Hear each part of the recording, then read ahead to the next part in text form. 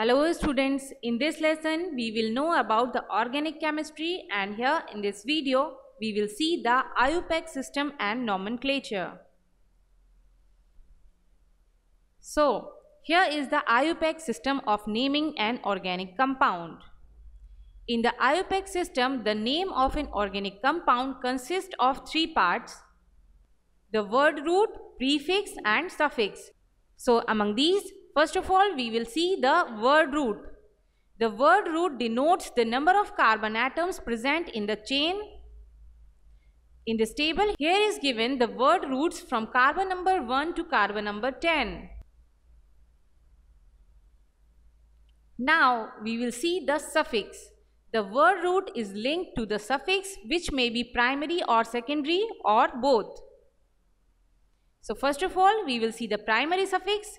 It indicates the nature of linkage in the carbon atoms like ANE which is represented by C single bond C and ENE which is represented by C double bond C and YNE which is represented by C triple bond C. Now come to the secondary suffix. It indicates the presence of functional group in the organic compound. In this table, here is given common name, group, formula, prefix and suffix of some organic compounds.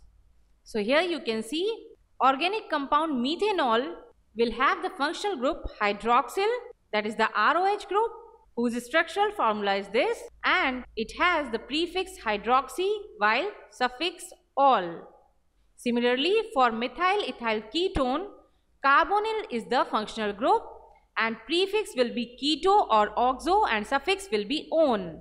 And for acetaldehyde, aldehyde CHO will be the functional group and aldo will be the prefix while al will be the suffix. While for acetic acid, carboxyl is the functional group and carboxy will be the prefix while oic acid will be the suffix. And in diethyl ether, ether will be the functional group and alkoxy is the prefix and alkyl alkyl ether will be the suffix. Similarly for ethyl butyrate, ester will be the functional group and suffix will be alkyl alkanoate. For acetamide, Carboxamide will be the functional group and carboxamido will be the prefix and amide will be the suffix. For methylamine, primary amine is the functional group, amino will be the prefix and amine will be the suffix. Now, we will see what are prefixes. There are many groups which are not regarded as functional groups in the IUPAC name of the compound. Those are prefixes. Actually, these are not the principal functional group. You can see here in this picture, this is the parent chain and here hydroxy group is the functional group while bromo will be the prefix. For example, alkyl groups like methyl, propyl, ethyl etc. are prefixes and not the principal functional groups.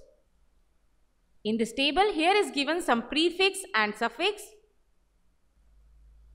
Thus, a complete IUPAC name of an organic compound may be represented as prefix plus word root plus primary suffix plus secondary suffix.